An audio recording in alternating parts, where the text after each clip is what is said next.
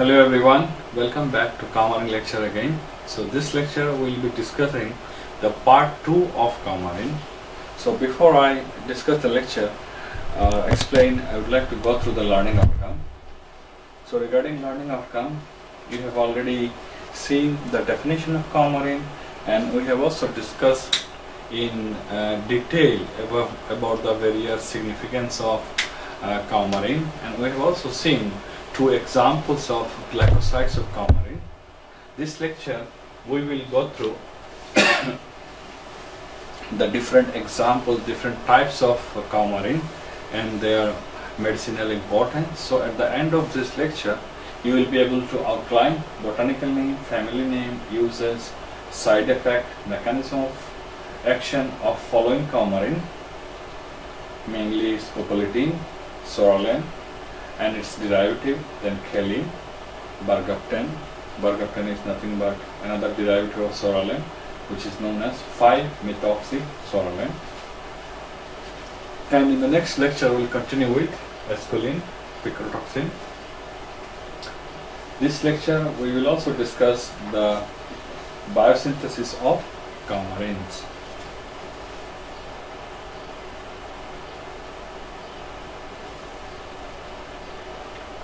So first we will discuss about scopoletin. Scopoletin is a phytoalexin. It's available in the mainly in the quassia wood. And when I talk about the quassia, it is a collective term for two plants that is the botanical name Picrasma excelsa as well as Quassia amara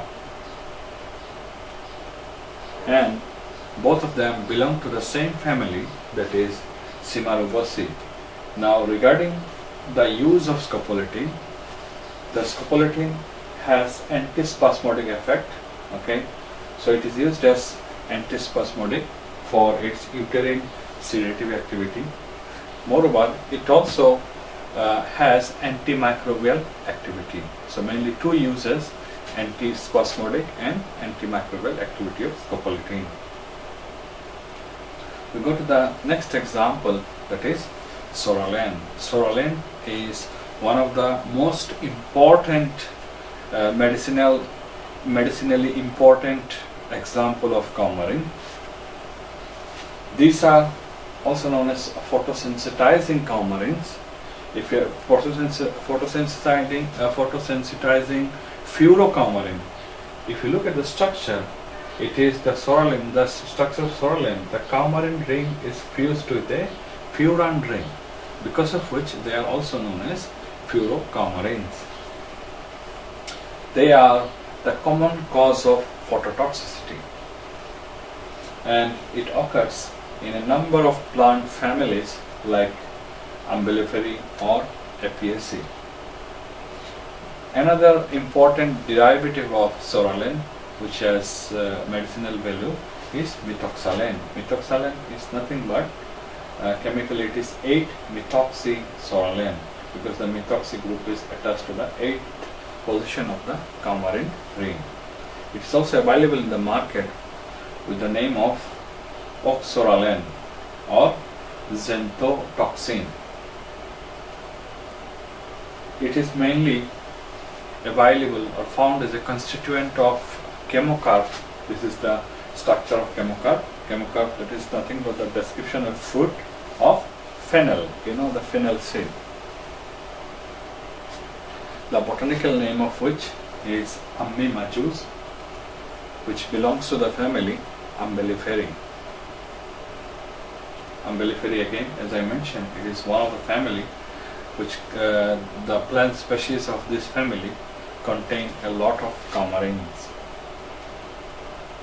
Regarding the uses of psoralen, now we will see why uh, psoralen is considered as one of the most important uh, chemical constituent or coumarin medicinally because it is able to facilitate repigmentation in idiopathic vitiligo which is nothing but known as leukoderma. Look at the picture of leukoderma. Leukoderma where you can see the people have white patches okay? Lack of pigments in their whole body. I hope you know as a pharmacist generally even though there are various treatments available uh, for the treatment of idiopathic vitiligo leukoderma they are not so successful.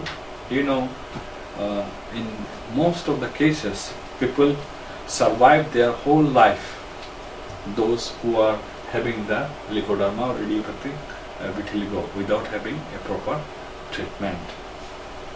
Not only that, it is also found to be useful for the symptomatic control of severe disabling psoriasis. You look at the picture of psoriasis, psoriasis where you can see the thickening of the skin, okay, in patches. Even though psoriasis is curable, but still it is difficult to cure psoriasis which takes very long time. And uh, uh, various allopathic treatment options that are available in the market for the treatment of psoriasis they have their own side effects. So it has been observed that using of psoralen for the treatment of psoriasis is very useful as compared to those marketed product and this methoxsalen may be and methoxsalen that is the derivative of psoralen may be applied topically or it can be also taken internally, internally okay with the exposure to UV light. But you need to remember there's always a risk associated okay with the use of methoxsalen mainly and most important side effect or you can say the dangerous side effect that is associated with methoxsalen, especially if you take internally, okay, it can cause carcinogenesis, may lead to the development of cancer. Okay, so it is most suitable for the uh, use topically, for its use topically. You can see two of the marketed product I have given here. One is Psoralen NH, another one is Oxsoralen. Regarding the biosynthesis of coumarins, okay, coumarin can be biosynthesized mainly from cinnamic acid. Cinnamic acid, uh, uh, first it undergo hydroxylation, okay, at the para position of the aromatic ring in presence of or with the help of an enzyme known as cinnamate 4 hydroxylase. This further undergo hydroxylation, okay, second hydroxylation with the help of another enzyme which is known as cinnamate or coumarin 2 hydroxylase okay? Then it follows the cyclization of the ring which results in the formation of coumarin. The structure here given is nothing but the structure of umbelliferone which is an example of coumarin. We will go go to the next example of coumarin that is known as khellin Khellin is again an example of furocoumarin.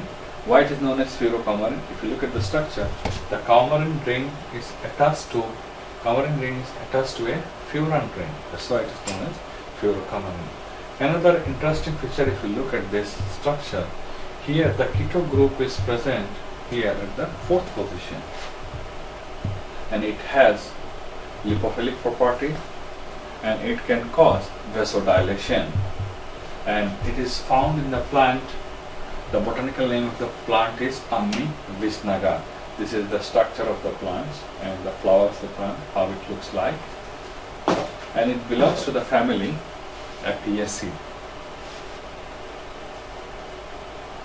now khellin when you talk about khellin the first use of khellin was found mainly in the uh, Egyptian folk medicine. In if you read the Egyptian folk medicine, they used to use khellin a lot, mainly, okay, uh, for the treatment of renal colic, where the plant khella was used for the treatment of renal colic means renal spasm, spasm of uh, the nephron or uh, tubule, and the incidence of renal colic was uh, found to be mostly due to schistosomiasis infection as well as due to stone formation inside the renal tubule and taking the plant extract of Khella was found to be useful, very useful for the treatment of renal colic. And from there, actually, the idea of Khellin uh, uh, was taken and the further lot of research was carried out for its beneficial effect. And the plant mixture also showed the diuretic properties, which is again uh, related to the relieving of the related to a cause for relieving the renal colic. Not only as a so relieving the renal colic mainly by two ways. One by showing the diuretic properties, another by also showing the antispasmodic effect. So as I mentioned, it is also found to be a spasmolytic, releasing the spasm, and also a vasodilator. It can also relax the ureter as well as coronary arteries. But it is not used as systemic medication even though it was found to have uh, reported to have a good effect especially for the treatment of renal colic and it was shown to have diuretic properties as well as spasmolytic. It is not used systemically because it is difficult to absorb first of all and secondly even if it is absorbed it can cause a lot of undesirable side effects like dizziness, headache, GI disorder like nausea and vomiting. So if I ask you a question why Khellin is not preferred as systemic medication, how many reasons? Mainly two reasons. First of all, it is difficult to absorb from the GI tract and secondly, even if it is absorbed, it shows undesirable side effects. So it was successfully or it has been successfully used mainly to treat vitiligo by topical application rather than systemic application. So in the considering the usefulness of Khellin in the uh, early 20th centuries, a lot of research was carried out in uh, with an aim to develop various Khellin analogs, okay, uh, with lower toxicity or in you can say to achieve lower toxicity as well as better efficacy. Two of the, two of, two of the successful example of Khellin analog that are being used in the market okay with uh, with having lower toxicity and better efficacy than Khellin are amiodarone and cromolyn sodium. If you look at the structure of amiodarone and cromolyn sodium, they are the two derivatives of or you can say they are the product which are the outcome of research on Khellin having lower toxicity and better efficacy as compared to the Khellin and this is one of the marketed product. This is again another marketed product both of which are mainly used topically. Now we go to our next example that is Bergapten so if you look at the name Bergapten chemically it is known as 5-methoxypsoralen. That means it is nothing but another derivative of psoralen. So when we talk about psoralen, how many products we are studying? First one is psoralen. Second one we studied methoxsalen that is 8-methoxypsoralen. Now we are discussing 5-methoxypsoralen. Okay. So naturally it is also a furocoumarin because it is attached to the furan ring and if you see the numbering 1, 2, 3, 4, 5 the methoxy group is attached to the fifth position of the coumarin ring. That's why it is also known as 5 methoxy psoralen so it is mainly found in bergamot essential oil. The botanical name is citrus bergamia which is nothing but the bergamot orange. And it is also available in other uh, citrus essential oils as well as in grapefruit juice and it is produced by the plant mainly as a protective mechanism against the high doses of sunlight and because of which because it can protect from the high dose of sunlight. Okay, it is mainly used in the formulation of sunscreen lotion. Okay, Uh, and used for the cosmetic purpose. So you can find in the mar market a lot of sunscreen lotions are prepared containing the bergapten. Okay, because it can protect your skin from the high dose of sunlight. Second use is the bergapten free bergamot essential oil is also used in the preparation of perfume because of its sweet smell. So see there are two uses not to be confused. Bergapten when the bergapten is mainly used for the preparation of sunscreen lotion whereas bergapten free essential oil is used uh, in the perfumery because of the smell sweet smell. So with this, before I finish my lecture, I would like to again ask a few questions to check your knowledge. First question, which of the following furocoumarin can be used for the treatment of idiopathic vitiligo or leukoderma? The correct answer is Bergapten, Psoralen, Esculin. You know Esculin now.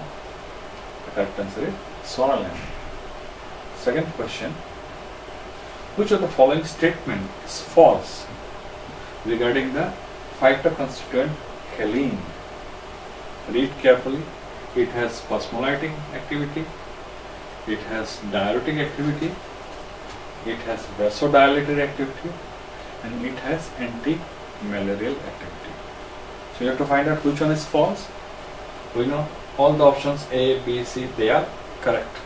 Khellin shows all the three properties except anti-malarial activity. So the correct answer is option D. So with this I finish my lecture here. We'll continue again as the last part that is part 3 in our next lecture. Thank you for your attention.